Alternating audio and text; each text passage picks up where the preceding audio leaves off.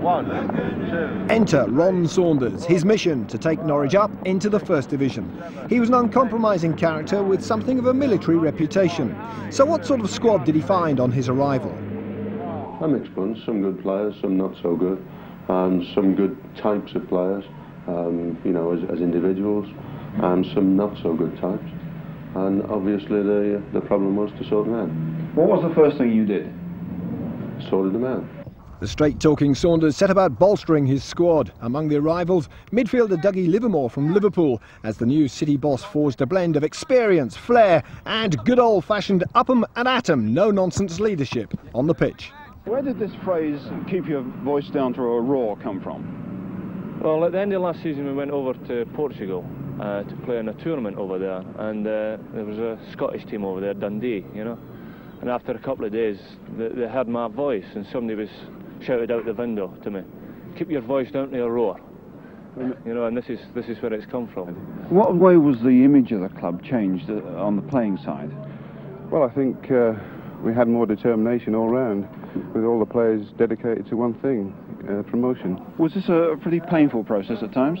Well, in training it was very painful. You know, we had to uh, go through a lot of hard work, you know, and uh, it was quite painful. Sheer hard work would underpin Saunders' reign, featuring the infamous bunny hop routine at Mousehold Heath. Slowly but surely, all the effort began to pay off.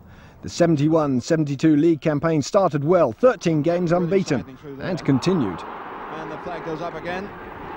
And on the spot, a penalty within the first minute and a half of this game. Just that little bit extra attention to put on Graham Paddon. No trouble.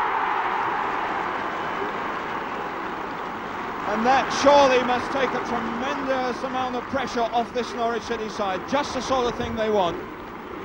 In the last few games, they've put a lot of pressure on sides, but they haven't been able to get that early breakthrough.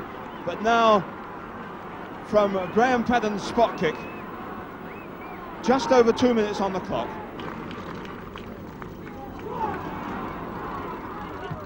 Payne pumping it up to the two men up front, Bone and Cross. Too strong by Bone, but Cross has got a lot of room to turn.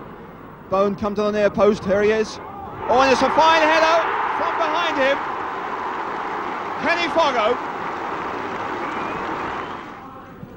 Sotheby in there hard. Dyson, can he turn on Forbes or set to Burns up? This is Burns.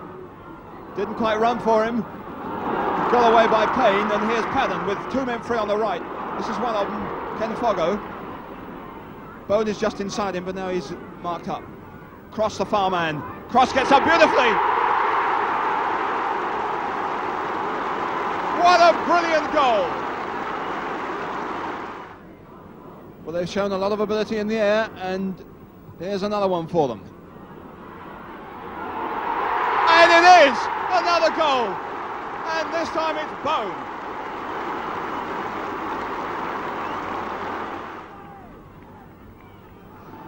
Now Paddon.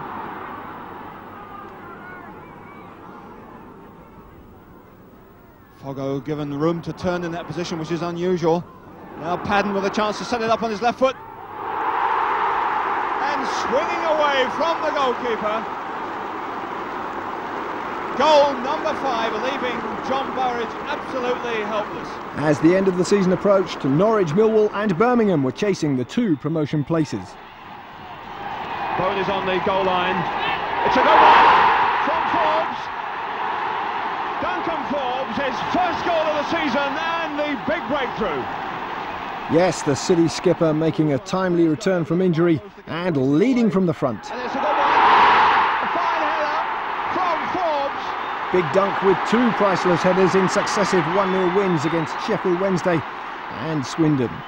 Two days later, City supporters travelled to Orient, knowing victory would clinch promotion. Ron Saunders sat back and watched as club history unfolded at Brisbane Road on Monday night, April the 24th, 1972.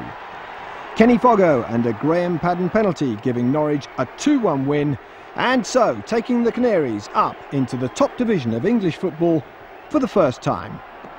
There was a, a little bit of champagne brought into the into the dressing room, but most of the lads refused it. I bet, yes. And uh, and then on the on the coach home, I think we stopped at a pub uh, on the 11 somewhere and uh, just carried on. I don't think I went to bed that night. There was still one piece of unfinished business, the championship, secured courtesy of Dave Stringer's header in the final match of the season at bottom club Watford. A 1-1 draw, enough to give Norwich the First Division title by just one point ahead of Birmingham. Big celebrations back at City Hall.